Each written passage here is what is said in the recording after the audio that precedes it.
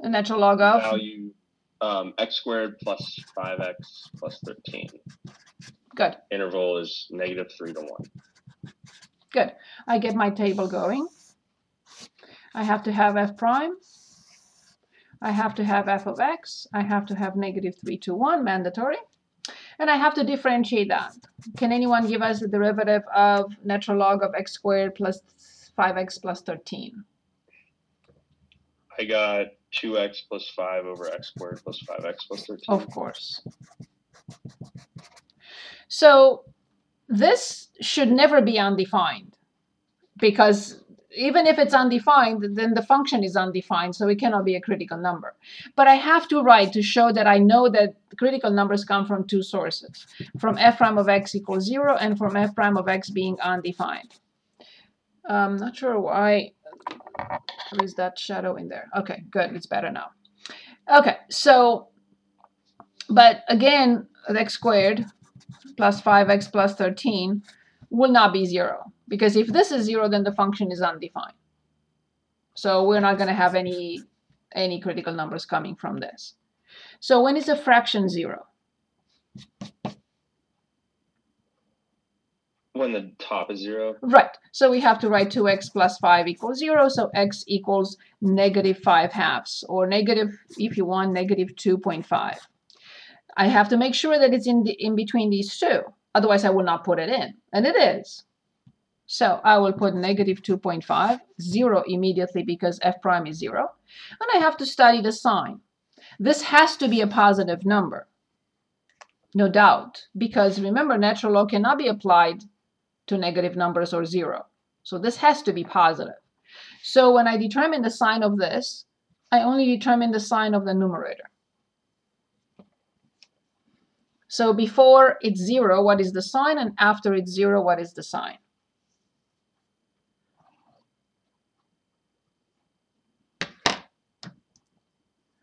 Can anyone tell us?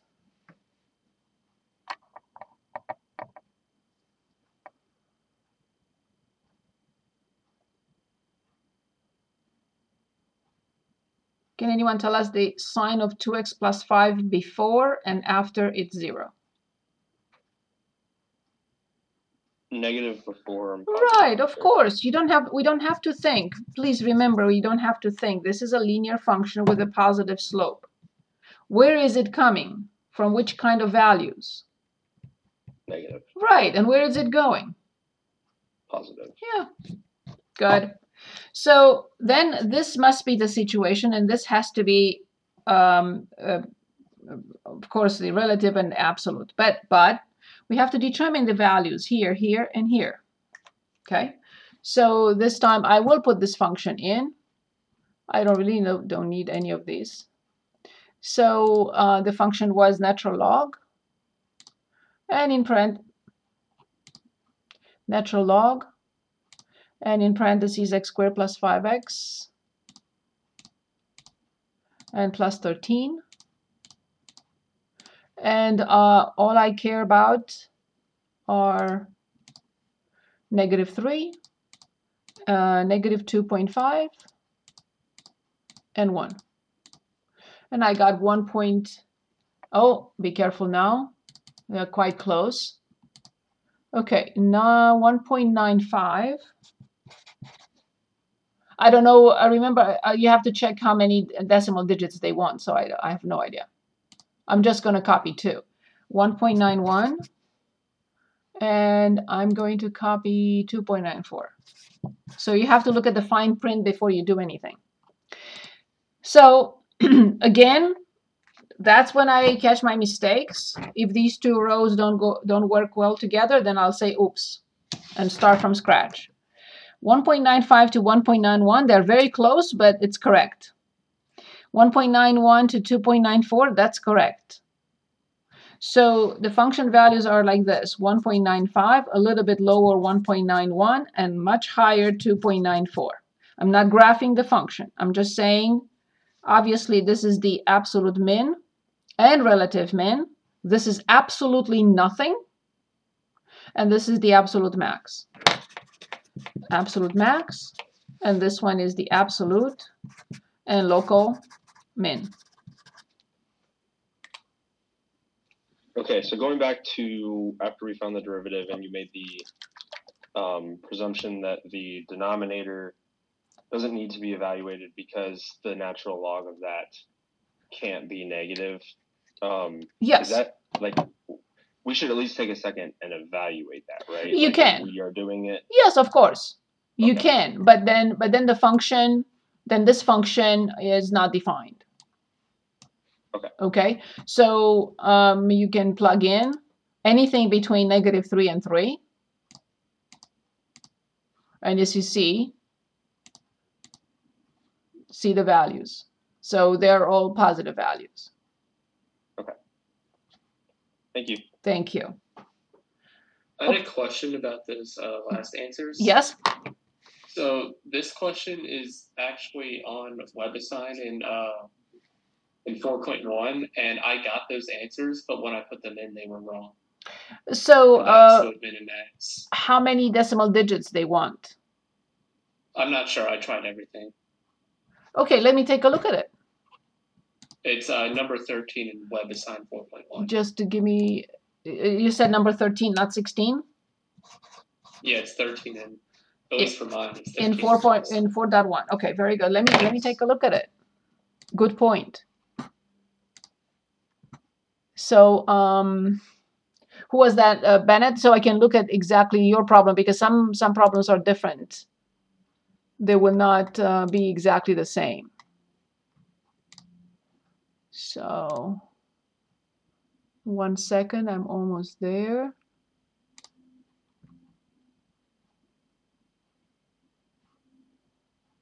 I need to find you and click on your name. I got it.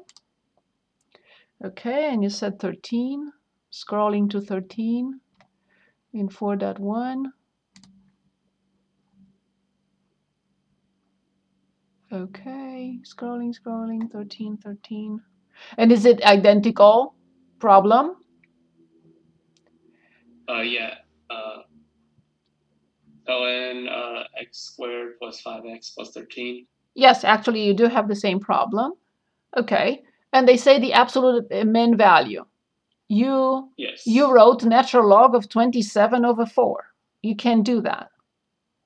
What? I, right now, the one I just submitted is one point nine one. Oh, they want, they want. Okay, so they didn't allow us any approximations. I got it. I understand. They don't want approximations. Fine. So if they don't want approximations, then f of negative 3 will be natural log of 9 minus 15 plus 13. So this is uh, negative 2, so this is natural log uh, 7. Okay. Um, f of negative 2.5. If they don't say approximations, you cannot enter approximations. That's why I was asking. Always read the fine print. If there is no approximations, you have to enter it like this. So um, 2.5 squared uh, minus 5 times 2.5 and plus 13. Okay, and they want this in a fraction form. That's why they want 27 over 4. So this is 27 over 4. And the last one is f of 1, which is natural log of 1 plus 5 is 6, natural log of 19. That's all. If they don't indicate approximations and the number of digits, uh, make sure that everything is exact. So, okay, thank you. so for this one, there is nothing I have to enter because it's nothing. But for the middle one, I have to enter natural log of 27 over 4. For the last one, I cannot write 2.94. I have to write natural log of 19. Perfect. Anything else? Other questions? Other issues? Anything? Good. See, that's why I want my students to stay with me uh, and not fall behind. So you can ask questions on the spot so everyone benefits from it. And I'm on page 5. Not 5A, not 5B, but 5. Okay. So if you find something else, please ask. Stop me and ask. So in 4.2, we looked at Rolle's theorem. Okay, this was done last time. And now we have to look at something called MVT, mean value theorem. Mean value theorem has only two hypotheses. And they are both from they're both coming from Rolle's theorem. Same, but just the first two. Number one, f is continuous on a comma b. Number two, f differentiable on a comma b. Okay, so now what is the result? What does this mean? Okay, so let's go back to the graph. I am no longer going to graph a function that has the same starts at f of a and comes back to f of b, but any, any situation, it doesn't matter. So let's say we have this function. So this is the point a comma f of a, of course, and this is the point b f of b. And this is point A and this is point B. So now I will draw the secant line, or if you want, a line that goes through these two points. This is not a tangent line, but we can determine the slope of this line. It passes to the two given points. Can anyone give us the slope of this line quickly?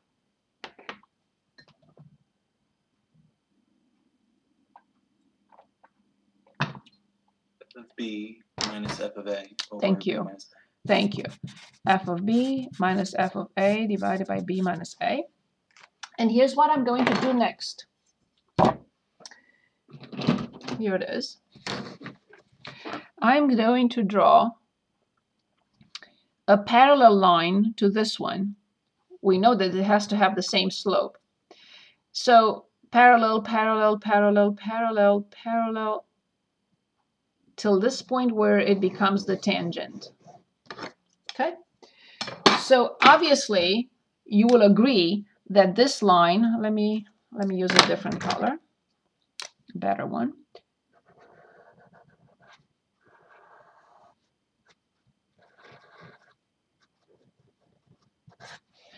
So I hope you agree that the slope of the tangent at this point, let me call it C, um, has the same slope with the line AB. Would you agree? You have to agree because that's what I did by construction. So I, I drew a parallel line to the, to the line passing through A and B that is tangent to the graph of the function f of x. So they have to have the same slope. Now, can anyone give us the slope of the tangent line? Uh, the graph of the function f of x at the point C. And this is lowercase c and this is uppercase c. Can anyone give us the slope of the tangent at C? It's the same? Yes. But what is it? Something that we learned in calculus. This was with algebra. Forget about this for a moment. This was with algebra. We knew this from a long time ago. Now I would like to determine the slope of the tangent line to the graph of f of x. The derivative. Yes. f prime of? Exactly. Exactly. So this is with algebra again. for the slope of this line AB. But this is with calculus. This is what we've been doing from the beginning of the class. Good. And we know they have to be equal to each other. So then f prime of c equals f of b minus f of a divided by b minus a. Okay, stay with me. Oh, I didn't, we didn't finish. So the mean value theorem says that if we have a function that is continuous on the interval AB and is differentiable at least on the open interval AB, we don't care whether it's differentiable here or here, it doesn't matter. We are interested in the middle anyway. Then, by MVT, there exists a C in the open interval AB, at least one, such that f prime of C, in other words, the slope of the tangent equals the slope of this line, such that f prime of C equals f of B minus f of A over B minus A. So again, the mean value theorem says if the function is continuous and differentiable on the respective interval, then by MVT, there exists a C in the open interval A comma B such that such that this happens.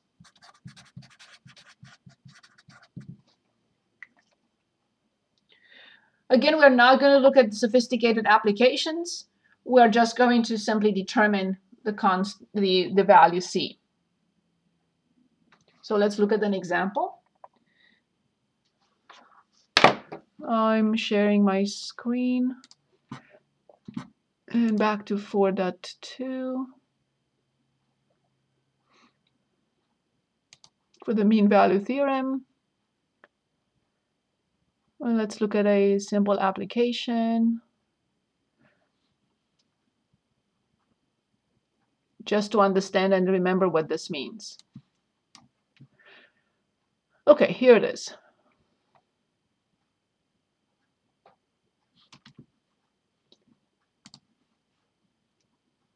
Okay.